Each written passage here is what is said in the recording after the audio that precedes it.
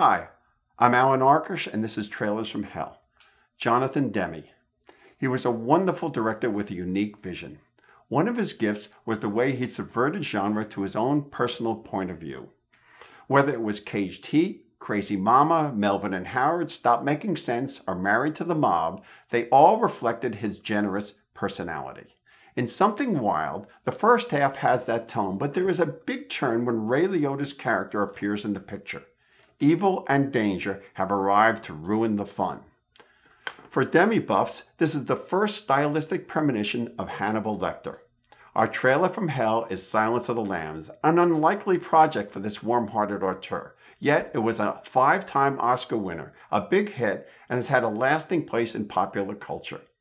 As my tribute to Jonathan, let's examine 1992's Best Director and Best Picture, Silence of the Lambs. You spook easily, Starling? Not yet, sir. Is it a horror movie or a detective story? Or is it the story of one young woman trying to save the life of another? That's the analysis that got Jodie Foster the part and bonded her with Jonathan Demme.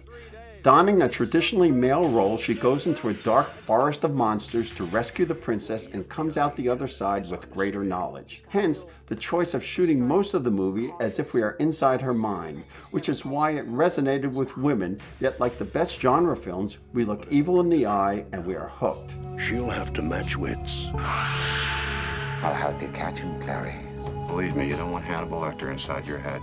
With the darkest of all minds. Anthony Hopkins played the monster with a disturbing stillness. The director said that Lecter was a good man, a compassionate man locked inside this insane mind.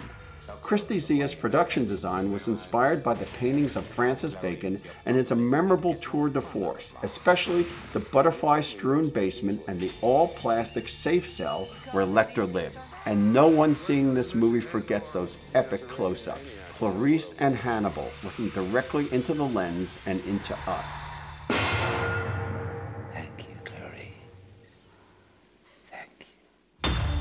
Jonathan Demme truly subverts and deepens the genre. He's a director with the heart of Jean Renoir. He sees the good reasons in all of us. To quote him, you have to understand humanity in order to heal it.